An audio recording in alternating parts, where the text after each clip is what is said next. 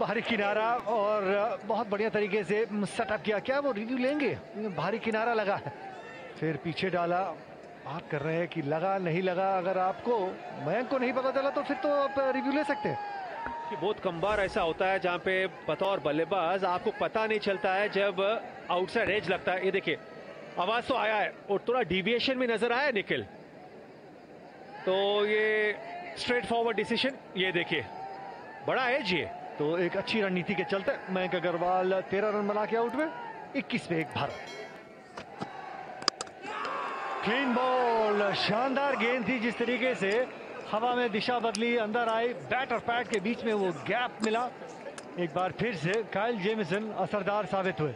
Good length के ऊपर गेंद गिरी उतना हरकत हुई नहीं है लेकिन बल्ला और पैड के बीच में से गैप अंदरूनी किनारा लगा इसी वजह से क्लीन बोल्ड हुए शुभमन गिल। ज़रूर निराश रहेंगे क्योंकि बढ़िया मौका था एक बड़ा शतक बनाने के लिए। शुभमन गिल अच्छे अंदाज से शतक बनाया बावन पे आउट हुए बयासी पे दो भारत। बाहरी किनारा पहले लगा बल्ले का किनारा और पीछे थे टॉम ब्लंडल के दस्ताने।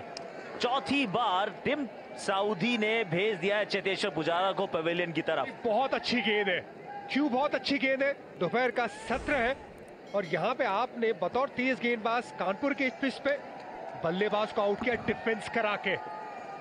डिफेंड करने गए, भारी किनारा लगा। अच्छी गेंद, अच्छी लाइन, बढ़िया गेंदबाजी। पहली गेंद से एकदम सचेत नज़र आए टिम साउदी 106 पे गिरा भारत का तीसरा विकेट। इस बार कोई गुंजाइश ही नहीं। प्लेड ऑन अजिंक्य रहाने कायल जेमिसन को पसंद है इंडिया के खिलाफ गेंदबाजी करना।